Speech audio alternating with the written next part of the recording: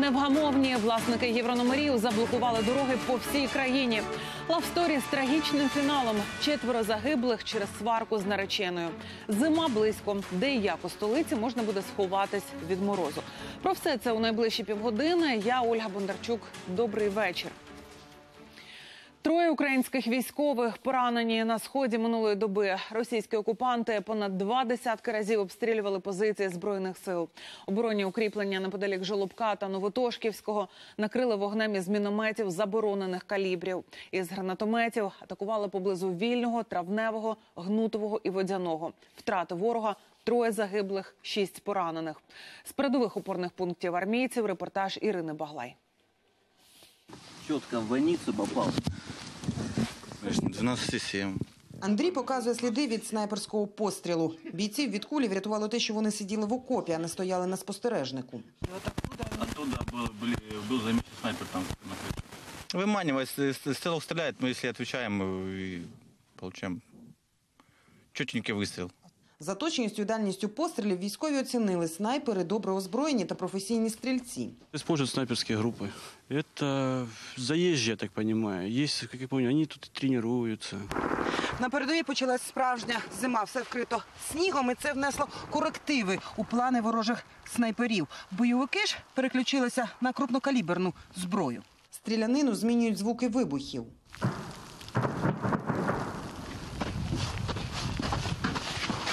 что это такое? Вот ты где-то там.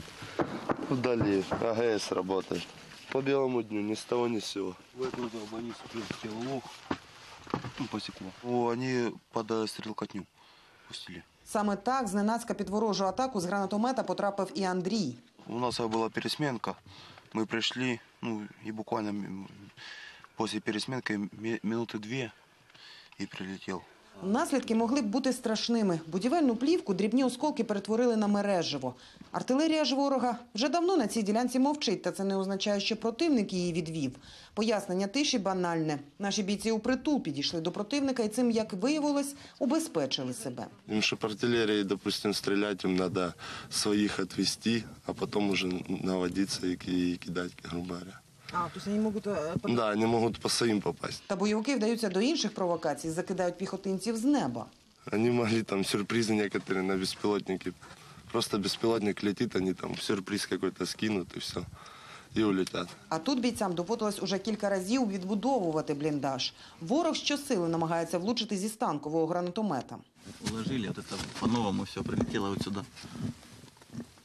Часто приходиться От сюда, от сюда прилетело третій раз уже. Ірина Багла, Андрій Костюк, Анатолій Воробей з Донецької області. Новини, телеканал Інтер. Надати Україні чітку перспективу членства в НАТО та ЄС закликали учасника парламентської асамблеї НАТО, яка завершилася в канадському Галіфаксі. Про це йдеться у спеціальному звіті під назвою Протидія російським гібридним загрозам оновлення. Окрім цього, у документі міститься заклик до розв'язання проблем так званих сірих зон у східній Європі. Мовляв, залишаючи там країни у невизначеності, захід заохочує Росію до подальшої агресії. Власники машин з єврономерами знову протестують. Автомобілісти влаштували акцію в урядовому кварталі столиці. Центр міста був фактично паралізований. З перебоями ходив громадський транспорт. Чим невдоволені євробляхери цього разу і чого тепер вимагають, розповість Гліб Гаврилов. Сотні автомобілів на іноземній реєстрації знову перекрили центр Києва. Акція протесту відбувається не лише у столиці, а й в інших регіонах України. Власники так званих євроблях не згідні з нещодавно прийнятим рішенням парламенту з приводу розмитнення автомобілів. Мітингуючі хочуть перерахувати ставки акцизу, а також зменшити коефіцієнт віку. Окрім цього, власники єврономерів просять запровадити фіксований відсоток на розмитнення для всіх автомобілів. автомобілі там дорогі, які там 18-го року, Lexus, Мерседеси, будуть платити за розмитнення порядка 40%, а звичайні люди, які мають на кармані там тисячу, дві, три тисячі доларів, будуть платити 100-200% за розмитнення такого автомобілю, який там 2000-го, 2005-го, 2003 року. Водії автівок на єврономерах не збираються розмитнювати авто за тими правками, які внесли депутати, і вимагають перерахувати формулу розмитнення і знизити початкові ставки. до тисячі євро, напевно, або до півтори. Тому що невигідно його розмитнювати за інші кошти. Тобто, е, якщо залишиться цей закон, то мінімум ціна нормальної машини буде 3 тисячі євро. Втім, депутати переконані, нова формула розмитнення є оптимальним варіантом, який на практиці є дешевшим від попередньої вартості митних платежів. Тому жодних альтернативних правок і законопроєктів, що передбачають дешевше розмитнення, не висуватимуть. Документи на підпис президентові поки що не передали, тож власники єврономерів і далі збираються влаштовувати акції протесту. Гліб Гаврилов, Дмитро Курченко, новини телеканал Інтер. Майже півсотні міст охопила сьогоднішня акція протесту. Пікетувальники перекрили головні автошляхи країни. Протест оголосили безстроковим і назвали його акцією громадської непокори. Як це відбувалося в різних містах в матеріалі наших кореспондентів.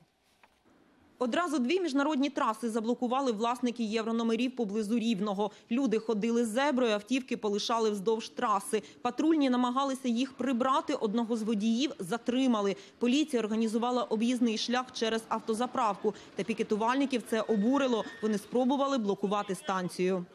Взяли за моду перекривати автомобільні дороги. За фактом перекриття автомобільних дорог е, доріг так само буде е, планується е, відкриватися кримінальне провадження. У Кропивницькому перекрили рух на чотирьох дорогах. Ситуацію в місті ускладнює снігопад. Тож, окрім заблокованих трас, водіям доводиться долати замети. Несолодко й пасажирам громадського транспорту. Дорога на роботу уповільнилася в рази. Що мені? Не пускають воно, що я зроблю. Не знаю, я з цим не зв'язаний, я не знаю. Вони просто неправильно роблять, та і все. Полтавське шосе блокували на Дніпропетровщині. Для проїзду лишили тільки одну полосу. Тут встановили намети, у залізних діжках розвели багаття для обігріву. Сейчас здесь постоим. Если не поможет, поедем в Киев. Перекроем полностью Киев круговую, чтобы депутаты не могли выехать в свои загородные дома. Но это неправильно. Если они хотят чего-то до- до- ну, до- добиться, достигнуть, то надо решать путем диалога и решать не вот здесь, вот на местах, на дорогах, а тех, кто принимает решения. У Миколаєві власники єврономерів обмежили рух на виїздах на Київську та Одеську траси. Свої автівки з увімкненими аварійками виставили в шаховому порядку на кілька кілометрів і теж запалили діжки. Они приобретали такие автомобили, и они до- прежде должны были думать, кто покупает. Они покупали кота в мешке. Кто несет? Они сами несут ответственность за то, что они взяли.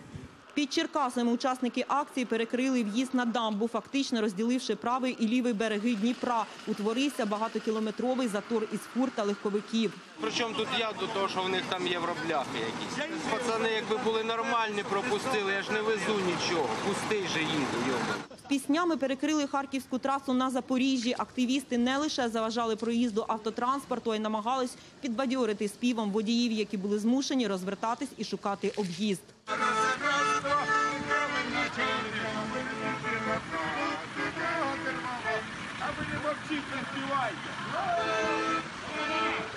У Чернівцях та Івано-Франківську мітингарі поводилися цивілізованіше. До перекриття трас не вдалися. З'їхалися до місцевих обладміністрацій, щоб зустрітися з очільниками регіону. Вимога та ж сама прибрати з формули розмитнення авто коефіцієнт про вік машини. І завозиться сюди якийсь хлам, вибачте за слово, металолом, який буде забруднювати. Хочеш вжити питань нема, плати дорожче. Але хай ці кошти, як я думаю, йшли би на цю ж екологію. Та машина старша віком, е, що в неї та е, норми очистки тих викупних газів не на такому рівні, які мали би бути вже, скажімо, до вимог Євро 5. Експерти застерігають, якщо прибрати коефіцієнт віку автівок, за кілька років Україна перетвориться на звалище металобрухту. Олена Бринза, Володимир Кувакін. Новини телеканал Інтер. У парламенті створюють групу Опозиційна платформа за життя, до якої увійдуть нардепи Юрій Бойко та Вадим Рабінович. У своїй заяві нова група закликає об'єднатися всі опозиційні сили, неприхильні до влади. Ми будемо відстоювати інтереси держави, миру, розвитку і стабільності. І, звичайно, ідеологічні речі, які нас об'єднують, об'єднують і які вимагають наші виборці відстояти, ми будемо відстоювати. В тому числі не втручання в е, церкву Ми пішли вперед, а і ми вважаємо, що всі повинні об'єднатись. А те, що сьогодні про нас е, можуть казати е, з опозиційного блоку за Порошенка, нас абсолютно не цікавить.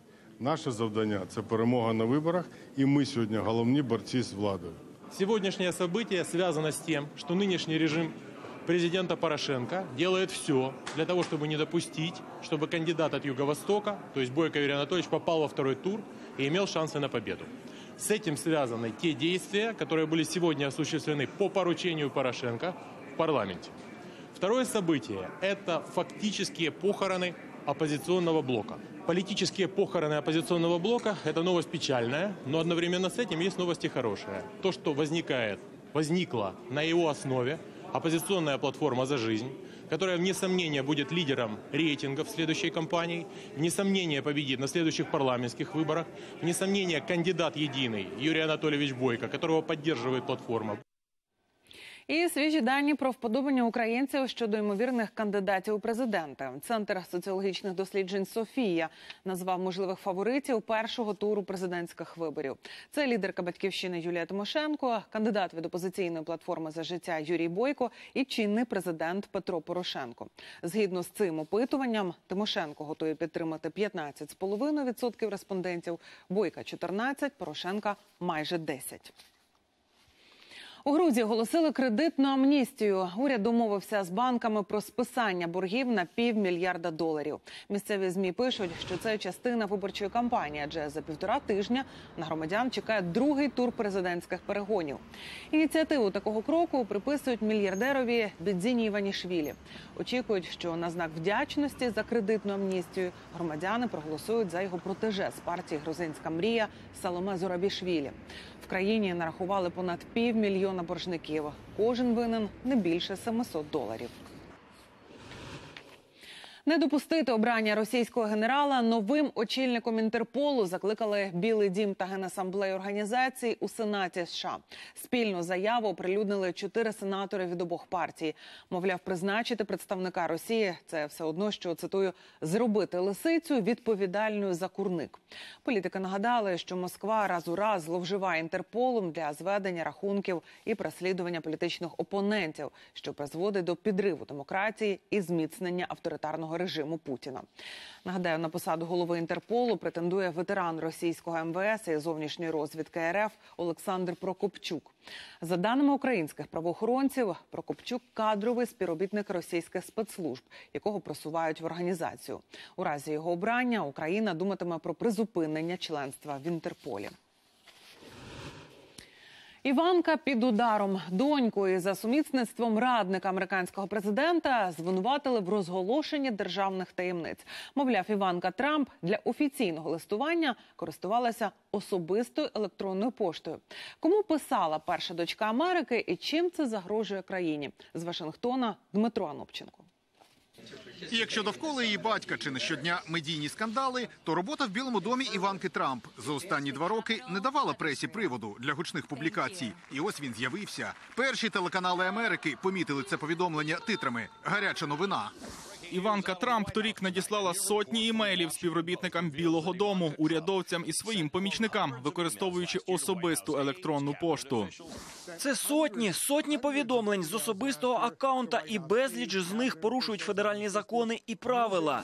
Компромат розкопала газета Washington Post. З'ясувала, листування це справді доведений факт. До того ж, не із захищеного урядового сервера, як вимагають правила, а з особистого. Попри те, що дочці президента вже надали офіційний емейл Білого Дому, але вона його не використовувала.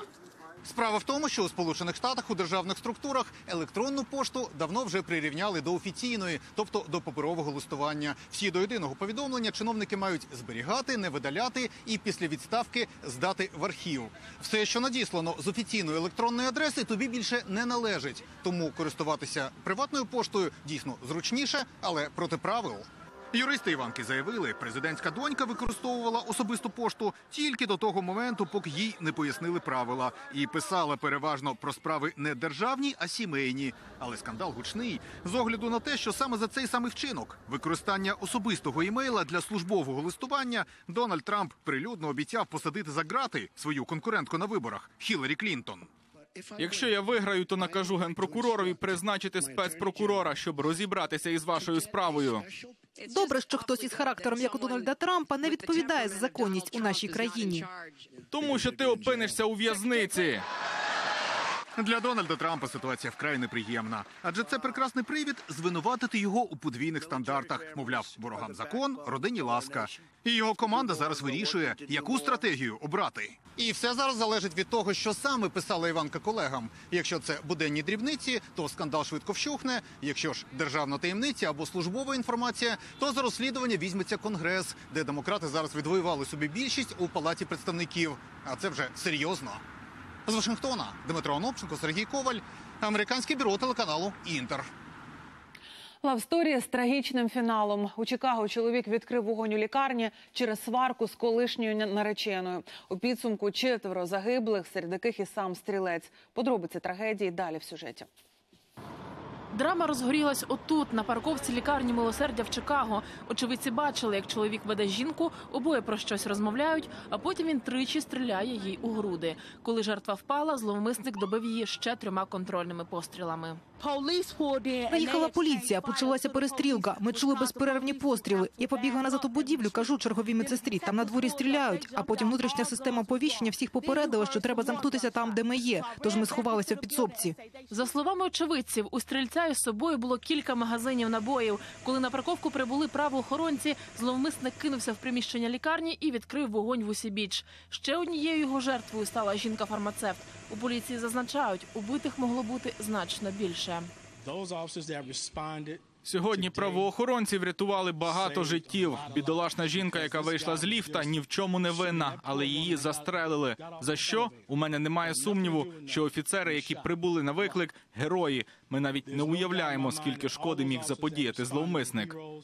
Убитий поліцейський батько трьох дітей. Нещодавно закінчив стажування і заступив на службу. Загибла колишня наречена нападника, працювала лікарем невідкладної допомоги. Сам стрілець теж не вижив. Поки що невідомо, застрелився сам чи загинув від кулі поліцейського. На тлі фатальної сімейної драми в Чикаго американські змі знову заговорили про необхідність суворішого контролю за обігом вогнепальної зброї. Менш як два тижні тому в Каліфорнії стрілець убив 12 людей у барі, де відпочивали студенти. Ірина Іванова, новини телеканал Інтер. Черговий випадок підліткової жорстокості. Студентка училища у Запоріжжі побила іншу дівчину. І як завжди, це зняли на телефон і виклали у мережу. Усе заради лайків та популярності. Втім, відео викликало зовсім іншу реакцію.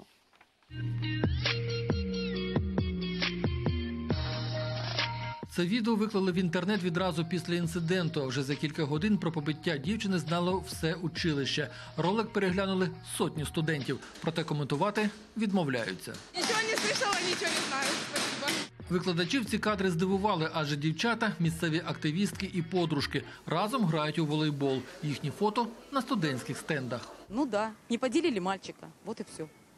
Просто не поділили мальчика. Це переходной возраст у них такий зараз. Зараз студенток в училищі немає. Нам пояснили, що вони на практиці. Нападниця майбутній кухар. Та в соцмережах себе називає бандиткою. Чому педагоги не знають. Ну, я не можу сказати, нельзя детям говорить, що вони бандити. Вони учащиеся прежде всего. Ну, девочка, да, она сложная девочка, со сложным характером. Утім, з інцидентом тут обіцяють розібратися суворо. Навіть планують скликати педраду. на которые будут вызваны эти девочки. Будем разбираться всем коллективом. В училищі припускають, через бійку можуть відрахувати і нападницю, і того, хто знімав. Тим часом, за фактом заподіяння тілесних ушкоджень, в поліції відкрили кримінальне провадження. Ну, Від штрафу до позбавлення волі, але наразі зарано про це говорити, оскільки е, це вже визначить слід слідство. Це вже не перший інцидент у цьому училищі. Торік викладачам довелося викликати поліцію, аби вгамувати учнів, які прийшли на заняття на підпитку. Сергій Бордюжа, Ігор Воробій, новини телеканал Інтер, Запоріжжя. Вдосконалення у сфері держархбудконтролю. Громади отримують можливість обирати або надалі продовжувати виконувати ці функції самостійно, або повернути їх державі. Відповідний законопроект у Верховній Раді сьогодні ухвалили у першому читанні. Завдяки децентралізації зараз в Україні близько сотні громад самі виконують функції архітектурно-будівельного контролю. Проте через брак фахівців впоратися із цим вдається не всім. Сьогодні працює Прозора Дабі. Це абсолютно нова платформа розгляду дозвільних документів, щоб по всій країні забудовники, інвестори могли в відкритому режимі без жодних перепонів отримати інформацію про розгляд дозвільних документів від самого початку до кінця. Ми робимо максимально все так, щоб унеможливити корупційні ризики для того, щоб чиновник не мог втручатися Зима вже близько. Про це нагадує не тільки календар, а й температура за вікном. Сильних морозів поки що не прогнозують, але про тих, кому ніде зігрітися у холоди, вже подбали і розгорнули пункти обігріву. Наша знімальна група перевіряла, як вони працюють у центрі Києва. Погрітися у морозну погоду можна в приміщеннях ЖЕКів і територіальних центрів соціальної допомоги в робочий час. Там кажуть, пункти обігріву, хоч і не цілодобово, але відкриті для всіх. Надаємо допомогу тим людям, які попали в скрутне становище, або тим людям, які просто переохолодилися при низьких температурах на вулиці.